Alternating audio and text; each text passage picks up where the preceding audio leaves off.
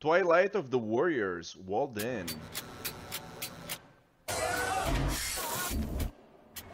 Martial arts movie? I love it already. Damn. Okay. This guy's on fire, man. I love it. Reminds you of the raid a bit, right?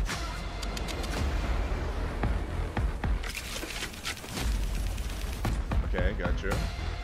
Uh, he's doing it. he's doing everything he's not supposed to do, right? Yeah, exactly. Hello. what a nice guy.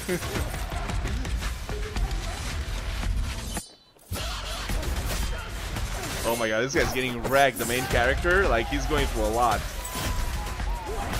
Jesus. What? 而家呢度我哋系陀地。I love it. Oh my god. I'm sure this guy's famous. I think I know who it is, but I'm not sure. 今日就要你打横行出去。That guy's wild.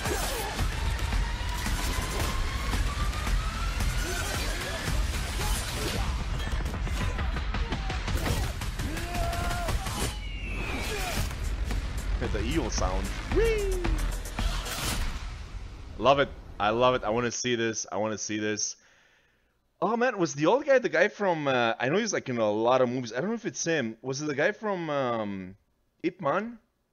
The second one, like one of the masters. Like, like he appears in a ton of movies. And then he appears in the other Ip Man movies as well. Was it him? I can't really tell. I know it's like a fake mustache, I think.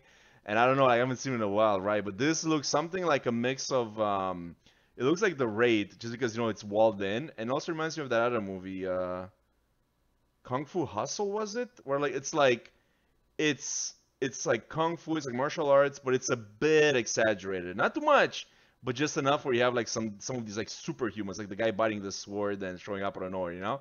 Uh, the main character seems to get beat down quite a bit, so he has like a lot to struggle through. But man, this looks absolutely amazing. I love also the colors and everything. The presentation, top notch. This is like my type of movie. Love it. Um, I can't wait to see it. Thank you for watching. Bye.